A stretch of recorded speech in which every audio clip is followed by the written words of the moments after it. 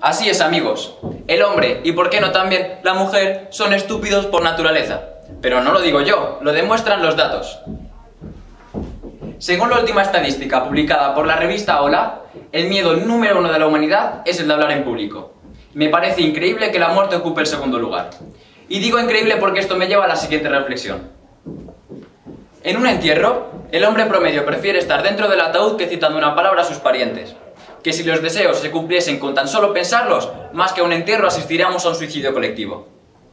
Y mira que, para mí, es más aterrador lo de tirarse en paracaídas, que cuando estés a 2.000 metros de altura, cayendo a 300, a 300 kilómetros por segundo, digas, ¿de qué sirve el casco? Porque claro, en el hipotético caso de que el paracaídas falle, no te van a parar de nada.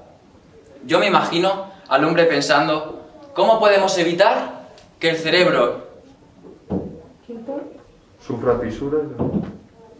¿Cómo podemos evitar que el cerebro sufra dolencias, fisuras, golpes?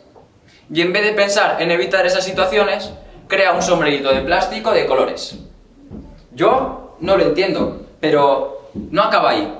Encima tenemos que aplicar una ley que obliga a usar el casco.